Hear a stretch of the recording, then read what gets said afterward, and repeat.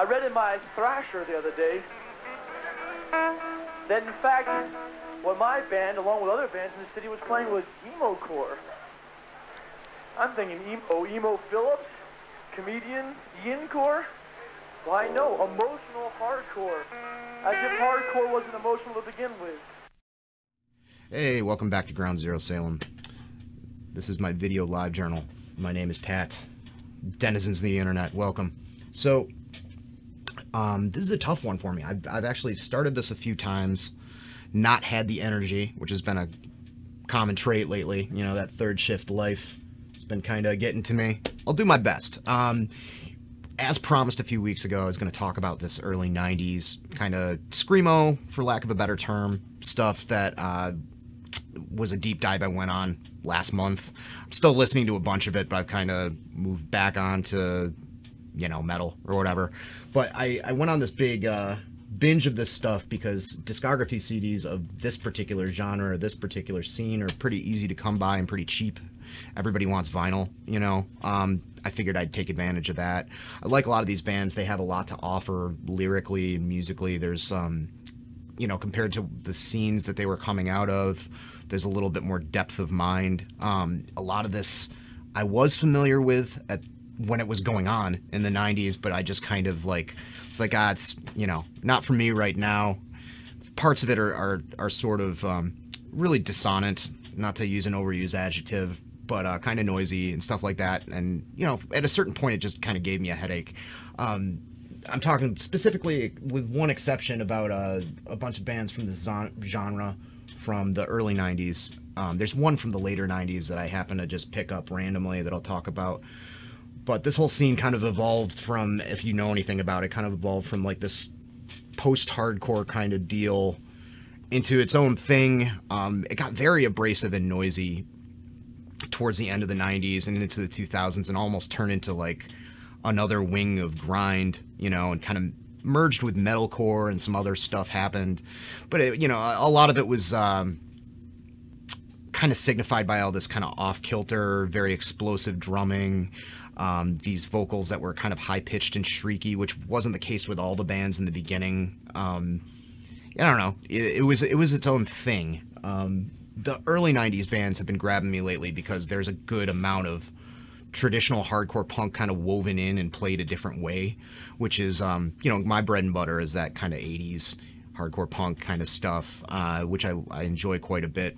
But this was almost mixing that with like some cool discordant qualities that it was kind of like you know a new thing for me even though i was familiar with a few but it, i think that's a purpose of a deep dive or becoming obsessed with or going after like a bunch of uh, records that you haven't heard before. You know, what's old is new kind of thing. And what sparked this is um, this hardware zine anthology, omnibus, if you want. 93 to 97, a couple of dudes from New Jersey, and they put out this fantastic, well put together zine. Um, I heard of it at the time. I was never able to get my hands on a copy. Uh, I think in the 2000s, a bunch of them got scanned and uploaded, and I read them at the time but uh, this is an interesting kind of evolution of the zine because in the very beginning they were the two guys who did this were really into talking about these bands uh, that were on Gravity Records and Gern Blandsten Records that were doing this kind of new strain of DIY hardcore punk that, you know, as I mentioned, was kind of noisy and weird and a little bit more personal lyrically, somewhat influenced by the late 80s, mid to late 80s DC stuff, a little bit more musicianship, you know, a little bit more artiness, free association lyrically going on. So after reading a bunch of reviews on this, I said to myself, I'm gonna pick up a bunch of cheap discography CDs, and that's what I did. I feel like I should mention in this pile, there's a few things I threw in here just to mention maybe a few proto bands or precursors to this. It's kind of an amorphous slowly evolving fluid kind of deal with these bands. Um, they're not they're all kind of singular in their own way, all kind of marching to the beat of their own drummer. There's just a bunch of token similarities. They all have their own unique identity, and as such, there's no there's no direct evolution. You know, that nobody's trying to push the bar or outdo each other in extremity like some other genres I might be into. So it all kind of flows. Um, it does get more extreme in the late 90s. I'm not really going to talk about those bands because I'm not super into them. Um, never really got into the Locust that much, and who knows, someday I might might have to scratch that itch. Orchid I liked okay. I saw them in Boston a bunch, but um, mostly this this stuff is up to about 95 with one exception. So without further ado, um, I can't think of these bands for whatever reason without thinking about Econochrist, and it might just be because even though Econochrist was a straightforward punk band in a lot of ways, they were on Ebullition, uh, at least towards the end of their career, and uh, they played. I feel like they played kind of in both scenes, like the sort of the crusty punk scene as well as the more, you know, post-hardcore or whatever you want to call it bands that I'm talking about. Ebullition put out a lot of that '90s screamo stuff, and this band had a lot more going on musically than say like uh a Filth or Christ on Parade or any kinds of bands. This band was from Arkansas, but ended up moving to the East Bay, and um, they just had like a really good bass player. They had a lot more complex song arrangements than your average, you know, fast punk band. A lot of their stuff was was fast, but they utilized melody really well. Their vocalist had like harsh, deeper vocals, but he kind of sang. There's a lot of like, I feel like spiritual similarities to maybe Neurosis or Christ on Parade, but there's a lot more complexity than those bands, and they show a lot more like going on with what they're thinking about all their political topics. There's a lot more introspection, and I think that's a key thing with all these bands: introspection and a wider palette for displaying different types of emotion than just anger.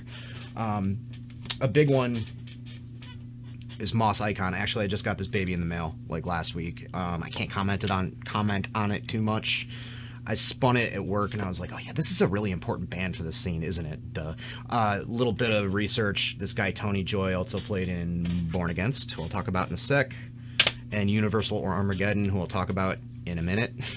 um, but this band was great. I mean, they have some stuff that's bordering on like mellow college rock, like indie-ish stuff, but there's some straightforward angry punk with some some weird songwriting choices, some kind of interesting twists and turns, as I like to say. Hoarse kind of shouted vocals, very personal stuff. Very nice layout from this, but the the more aggressive stuff is on the LP, which has a weird name that I always forget, Lyburnum. Lyburnum. Don't know what that means. I'll look it up later. As well as a bunch of seven inches almost all of these bands didn't put out full lengths, um, with a few exceptions. There's a lot of these compilations though that are all like three seven inches, two seven inches in a comp, you know that sort of thing. I feel like the style of music was more intended for the vinyl format, but I really like throwing on a discography CD and ripping through the whole thing and hearing the ev- evolution. Uh, mention Born Against real quick. This is not a new purchase. I've had this for quite some time. This is one of the first records I ever bought, which I talked about on my 25 records that got me into hardcore punk video. Um, Born Against, I mean, started, they came out of a band called Life's Blood, who are one of my favorite New York hardcore bands. They're from Jersey and New York, you know, kind of floated in between. Uh, very provocative band politically and with scene politics too. They made quite a few enemies, it sounds like, um, kind of talking trash at the time. Uh, but very strong, you know, left leaning politics, and a lot of their early material was kind of fast, dirty, sort of early 80s inspired hardcore punk, much like Life's Blood, who they came from. But later on, they developed into this sort of noisy, weird kind of thing, and eventually they absorbed the guitarist from Moss Icon and, and Universal Order of Armageddon. That is hard to say. So much editing, man. Fuck. All right, and then uh, I I just picked this up. I've been a big fan of Rorschach for years and years. Love me some Rorschach. Uh, sang their praises many a times on this channel. Very influential on metalcore. Very influential on this kind of hardcore stuff. Discordant, kind of metallic. Um, you know, they listened to their share of death metal, and you could tell. Um, but it was not death metal musically at all. Um, there's a lot of chugging and triple picking and stuff like that, but the songs tend to just kind of fall apart with this really raspy screaming, courtesy of Charles Maggio, who runs this label, Gern Blandsten, who put out a lot of stuff. Um, I believe a couple of these that I ordered from, he probably sent to me directly. Uh, they were just a great, influential act, and I can't talk about this sort of noisy, hardcore stuff without mentioning Rorschach. I feel like they kind of raised the bar for creating this sort of chaos um, within this kind of style of music. Uh, Heroin, San Diego band. The San Diego scene was huge for this stuff. Uh, this band went on to do a lot of projects and be involved with a lot of other things, including Antioch Arrow, who were great, who I don't have anything to show by because they didn't have a cheap discography CD, but I'm gonna at least get their first 12 inch at some point because it's brilliant. But this band was great. I, I love their fast parts. Their fast parts get melodic and almost almost go into like a just past youth crew kind of territory. Like I want to say the last couple things like Turning Point did, but I might not be right about that. They do utilize those like kind of melodic octave passages a lot. There's a lot of noisy, bashing, screamy stuff going on. Um, very big fan of this stuff. This uh, little sticker, outside sticker, like from the gun there, is on the outside of the case, and that's how these were manufactured.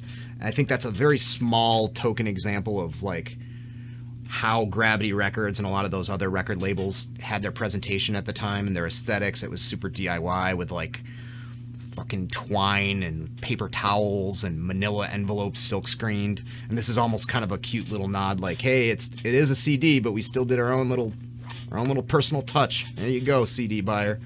Um, yeah gravity records this, again this is like i don't know three seven inches something like that. I two seven inches and a and a 12 inch. Actually i have it written down. I took notes. I'm not using them but uh three yeah three seven inches. Um that isn't right though, because I had a 12 inch of theirs.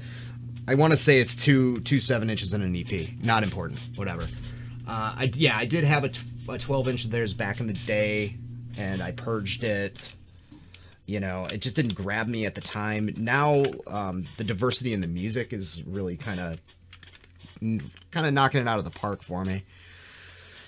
Then we got the Swing Kids. This is the band. It's post Unbroken, pre The Locust. This band was in existence for like a year, I want to say, or maybe two.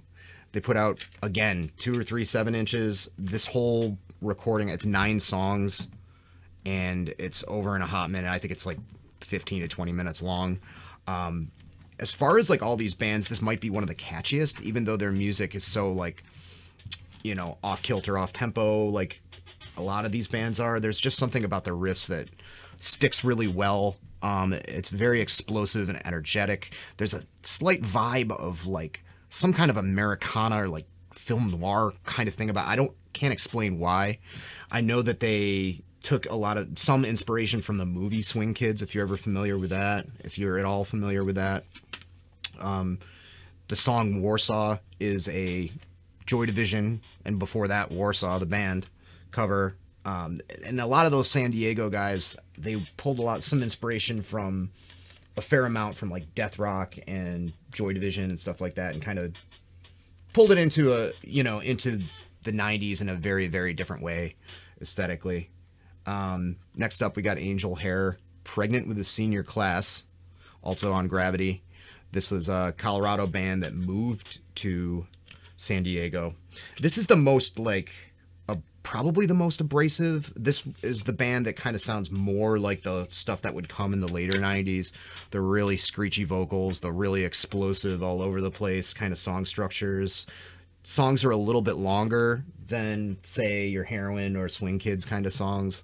Um, as such, I don't like this as much as those bands, but there is a lot to take a lot to appreciate here. There's good depth to the music, and they do have the occasional fast part, which is something kind of necessary for me apparently. Um, Universal Order of Armageddon. This is a band I've known of for a while. I thought I think I bought this sight unseen when I lived in Maine just because it looked like something interesting. Uh, I think this band's strength is when they play kind of these mid tempo to fast kind of pummeling, straightforward kind of songs. They have like the slower discordant thing going on as well. But if you pay attention, a few updates back, I used one of their songs as a as, as an intro to the channel um, because it just is a pretty song. I mean, it's like kind of morose, kind of punk. Um, in some ways, I don't want to say the Wipers. I can't think of what it reminds me of. Probably stuff like Leatherface or something like that. But uh, Tony Joy also in this. Um, you can hear some riff similarities, especially with the slower stuff with a few Born Against songs. This kind of lurching kind of quality when he um, plays slower, heavier shit. And uh, Maryland band, you know, I don't know if they shared more members with Moss Icon or not, but anyways, um, Merel, this is their discography. They were a Jersey band. This also came out on Gern, Blandsten. Um, this compiles two recording sessions with one song in the middle that's a WNYU Crucial Chaos radio show. Um, the LP sessions on this are kind of more typical of some of the other bands that I've been talking about previous to this. A little slower, heavier, you know, um, noisy. See how many times I can say noisy in this update. The second batch of songs are from one recording session, but made it onto a couple of seven inches, and they're they're way more like harsh and caustic and kind of fast. And I really like those. The song in the middle, the radio session song, is like it, it could be a bordering on grind or something kind of track. And uh, Charles Maggio from Rorschach guests on it. This is Uranus um, to this bearer of truth.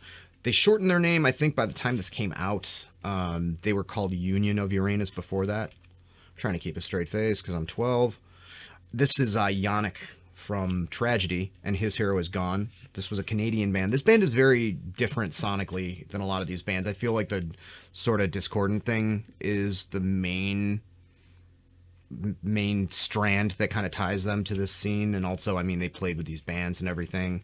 The presentation was pretty similar aesthetically. Vocals are uh, you know, they're not grating, but they're a little bit more like you know, they're a little bit more drawn out and um, a little bit deeper than the average vocals for this sort of stuff, but they were very epic. Like if you were to somehow meld this style of music I've been talking about with like something like doom metal, like that's a really bad way to describe it, but they had a very like claustrophobic and impending doom sort of vibe to everything.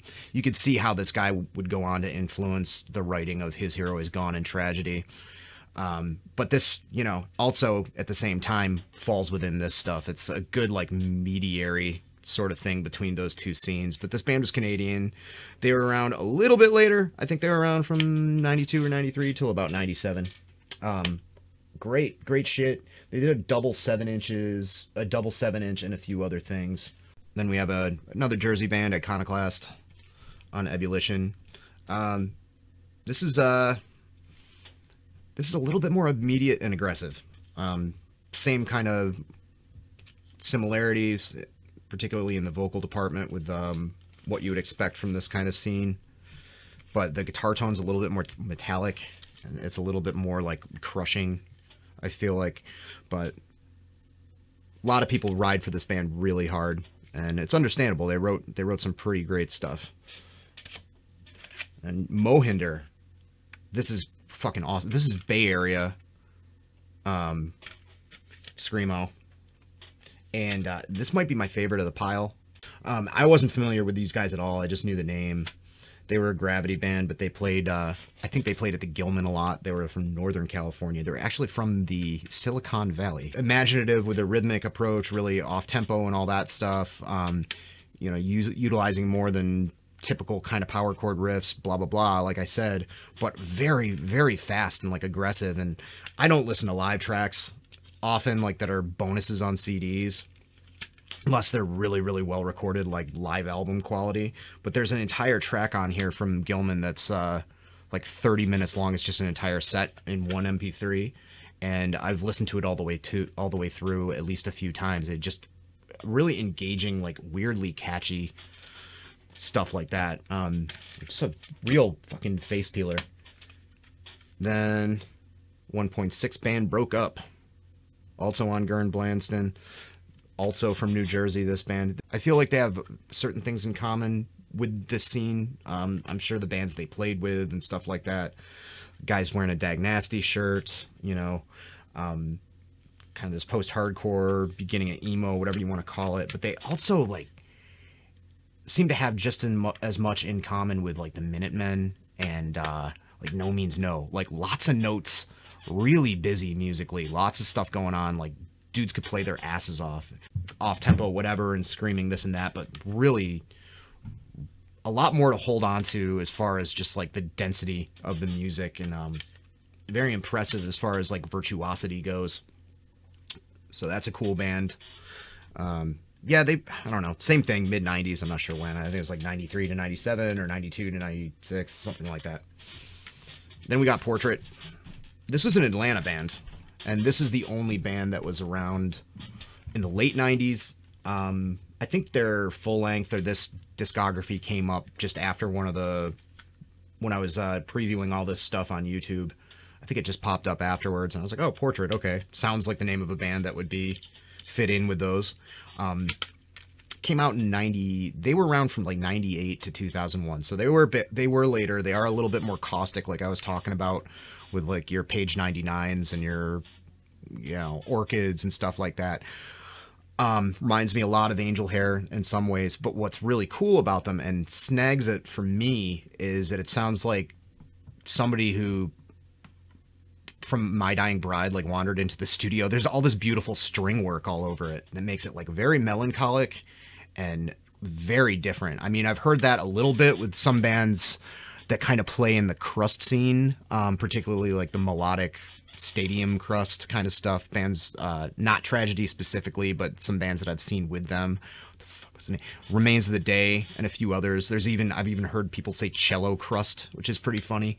But i'd never uh, I'd never heard of any stringed instruments on like this kind of explosive screamo kind of shit, and uh, it's really fucking cool. Um, yeah, it's totally weird. You know, it, it does bring about the same kind of vibes to me as My Dying Bride, but put in this weird hardcore punks kind of context. It's it's pretty cool.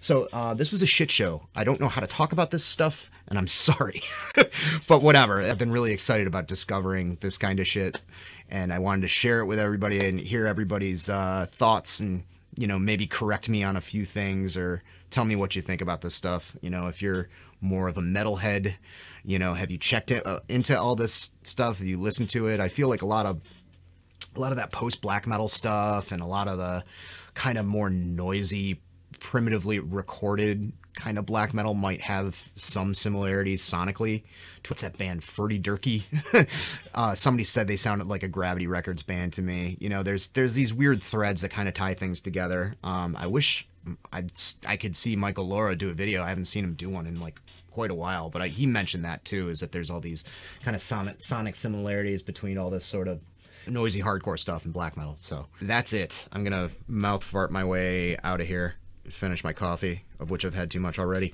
See you later.